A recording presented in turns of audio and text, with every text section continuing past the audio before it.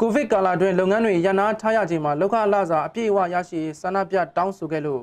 တရားစွဲခံရတဲ့လူသမားခေါင်းဆောင်2ဦးကိုဇွန်လ15ရက်နေ့က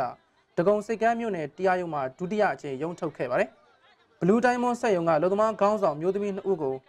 စက်ရုံရှိဆန္ဒပြခဲ့တဲ့အတွက်ပြီးခဲ့တဲ့မေလ4ရက်နေ့ကပုံမှန်188နဲ့ဖမ်းဆီးပြီးထောင်3လချခဲ့ပါတယ်။ဒါ့အပြင်စက်ရုံဘက်ကလည်းပိတ်ဆို့မှုအားပေးကူညီမှုတို့နဲ့ထပ်မံတရားစွဲဆိုတာကြောင့် အင်းစိန်အကျဉ်းထောင်မှာထပ်မံတရားရင်ဆိုင်နေရတာဖြစ်ပါတယ်။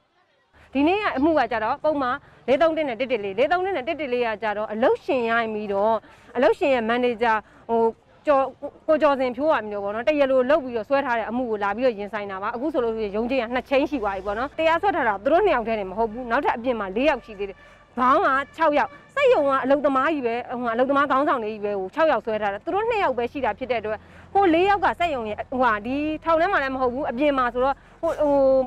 အပြင်မှာရှိနေတဲ့၄ယောက်ပေါ့ဒီ၄ယောက်ကိုဒီ၄ယောက်ကိုအရင်ဆုံးဒီမှာခေါ်ပြီးတော့စစ်ဆေးတာတို့မေးမြန်းတာသူတို့ကဆက်ပြီးတော့တရားရင်ဆိုင်မှာလားဒါမှမဟုတ်ရင်ပြေးနေတဲ့သူတွေလားဒီဒီအုပ်ဒီ၄ယောက်နဲ့ပတ်သက်ပြီးတော့ရဲကိုအရင်စစ်မယ်ရဲကိုအရင်စစ်ပြီးသွားတဲ့အချိန်ကြတော့မှဒီနှစ်ယောက်နှစ်ယောက်ကဆက်ပြီးတော့ဟိုဟာအမိန့်ချမယ်ပေါ့နော် တကုံစိတ်ကမ်းမြို့နယ်ရှိ Blue Diamond စက်ရုံမှအလုပ်သမားတွေဟာ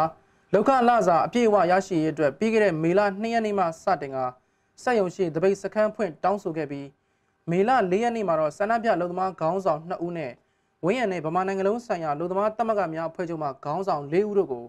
ရဲအင်အားများပြားနဲ့ဝင်ရောက်ဖမ်းဆီးပြီးထောင်3လချမှတ်ခဲ့ပါတယ်။ကိုဗစ်ကာလအတွင်းအလုပ်သမားတွေတွေ့ကြုံနေရမှုတွေကိုအလုပ်သမားအရေးလိုက်ပါဆောင်ရွက်နေတဲ့ဗကသများအဖွဲ့ချုပ်မှကိုဝေယံဖြိုးမို့ကအခုလိုပြောပါတယ်။ ဒီအလုပ်သမားတွေကအဲကိုဗစ်ကာလမှာတော့ကလည်းဒီမတရားလှုပ်ထုတ်ခံရတဲ့ကိစ္စတွေအဲပြီးတော့ဒီဥပဒေမဲ့လှုပ်ထုတ်တာတွေပြီးတော့ဒီလောက်ခလာတာအပြည့်အဝမပေးတာတွေအဲ့ပြဿနာတွေအများကြီးပေါ်လာတယ်ပေါ့အဲ့ပေါ်လာတဲ့အချိန်တွေပေါ်မှာသူတို့တွေကနေပြီးတော့တောင်းဆိုမှုတွေပြုလုပ်တယ်တောင်းဆိုမှုတွေပြုလုပ်တဲ့ဥစ္စာမှာလည်းဒီဖြည့်ရှင်းပေးတာမျိုးမရှိဘူးတောင်းဆိုတဲ့အလုပ်သမားတွေကိုလှုပ်ထုတ်တာမျိုးတွေပြီးတော့တောင်းဆိုမှုတွေကိုဦးစီးတယ်ဒီအလုပ်သမားသမဂ္ဂတွေကိုစိတ်ုံတယုံချင်းအလိုက်ဖြိုခွဲတာမျိုးတွေအဲ့ဒီအလုပ်သမားသမဂ္ဂအဖွဲ့ဝင်တွေကိုလှုပ်ထုတ်လိုက်တာမျိုးတွေပေါ့အဲ့ဒါမျိုးတွေပဲကြုံနေရတယ်အဲ့တော့ကြောင့်အလုပ်သမားတွေသပိတ်မောက်တောင်းဆိုတဲ့အခါမှာလည်းဒီကိုဗစ်ကာလမှာဒီကိုဗစ်ကာကွယ်ရေး ဥပဒေပုံမှန်တွေနဲ့ပဲအလုပ်သမားတွေကိုထောင်ထဲထည့်တာမျိုးတွေကြုံနေရတယ်ပေါ့ Blue Diamond စက်ရုံမှာကိုဗစ်ကာလအတွင်းလှုပ်ထုတ်ခံရတဲ့လုံသမား100ကျော်ဟာ